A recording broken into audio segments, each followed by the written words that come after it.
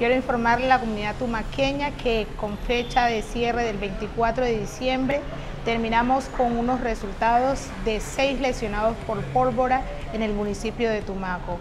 Eh, resultaron 20 lesionados a nivel departamental, con 19 hombres y una mujer. Y en, menores de edad resultaron 16 adultos y 4 niños lesionados por pólvora en todo el municipio de Tumaco. El municipio de Tumaco, eh, con 6 lesionados por pólvora, un balance preocupante para el municipio. Lideramos eh, este porcentaje, tenemos el 28% del 100% de lesionados por pólvora. Fuimos el mayor municipio que reportó lesionados por pólvora.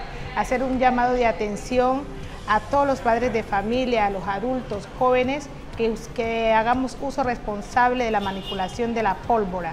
Estamos articulados con la Secretaría de Gobierno, con Inspección de Policía, con Comisaría de Familia, haciendo unas jornadas de verificación eh, y, de, y de decomisos de estas pólvoras y además unas jornadas de sensibilización y capacitación a estas personas para que no manipulen de manera irresponsable la pólvora. Hacer un llamado de atención para que toda la comunidad tumaqueña no manipule de manera irresponsable la pólvora y a 31 de diciembre no tengamos más reportes de lesionados por pólvora.